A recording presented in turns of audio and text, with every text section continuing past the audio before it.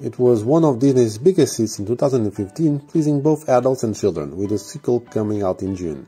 I'm talking about Inside Out 2, a film that deals with emotions and what goes inside our minds when we go through different everyday situations. LEGO didn't want to miss the opportunity to do something for this theme, so here it is, the 43248 Inside Out 2 Build Cubes, a set with 394 elements and a digital price of 45 euros or dollars, which is equivalent to a price per piece of almost 9 cents. It will be available for the market on May 1st. Starting with the minifigures, we have two mini dolls, Joy and Anxiety, a new character.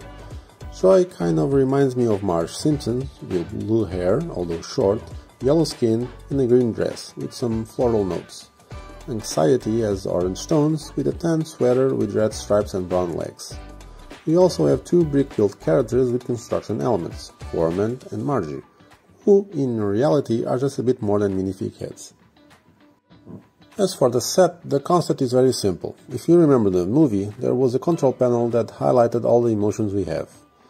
This 43248 is basically a stand where two cubes are displayed, and with each side showing an emotion, and in total there are 9, including some of the new ones compared to the first movie anxiety, annoyance, envy, and shame. The already mentioned control panel is also here, containing all the colors of emotions, and there is also space to place the four characters. Two spheres are also included, in this case in yellow and orange, representing the colors of two emotions that are found here as minifigures, joy and anxiety. The other three sides of the cubes contain several stickers, two of them full of images of different emotions and another one with what appears to be some sort of safe, possibly a reference to the movie or to the fact that these cubes can also be used as a box to store parts, clips or whatever we want. I don't consider this to be a set aimed at adults unless they are big fans of the movie, and I know there are many, and want to have something on display at home related to it.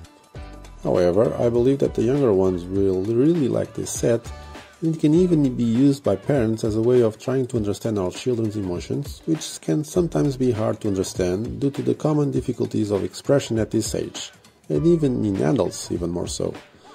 Just ask them to choose for the character's emotions that they are feeling to be placed facing forward on a display.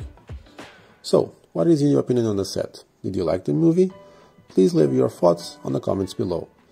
Thank you LEGO and the LAN for sending the set for review. Opinions on it are my own. And don't forget to like, share and subscribe to the YouTube channel so you don't miss any content. In the next days and weeks I'll be posting more reviews with some good surprises. Oh and most importantly, play well.